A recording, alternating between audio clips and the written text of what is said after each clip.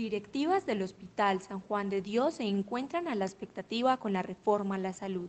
Consideran clave que el 50% de las deudas de la red hospitalaria sean pagadas a través del Sistema General de Regalías. Recuperar un dinero que tenemos en entidades liquidadas que hoy por hoy es de difícil recaudo y que nos daría mucho, mucho avance en el hospital para reinvertir y lograr mejorar la complejidad para toda la comunidad del departamento. Se han realizado avances significativos en algunas de las especialidades que ofrece el Hospital San Juan de Dios. Estamos eh, certificados, digamos que acreditados por cuatro años, pero cada año se hace una visita de verificación y de recertificación.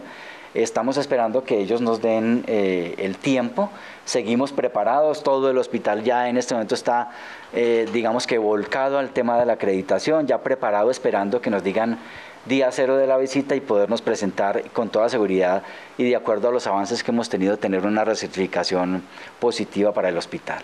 Además, el gerente del Hospital San Juan de Dios, Rubén Darío Londoño, afirmó que están esperando la visita del ICONTEC para la recertificación del hospital. Avanzado en el tema de neurocirugía importante, con, unos equipos de tecnología de alta que hemos, eh, hemos eh, conseguido en el hospital y obviamente el tema, de, el tema de atención de maternas y el tema de las unidades de cuidado intensivo y el tema quirúrgico en el resto. También en trauma hemos sido supremamente avanzados en el tema. Tenemos, digamos que eh, en trauma de tobillo y pie, la especialista en eso para poder tener eh, la solución de esos problemas en los pacientes que tienen alta frecuencia de esa enfermedad.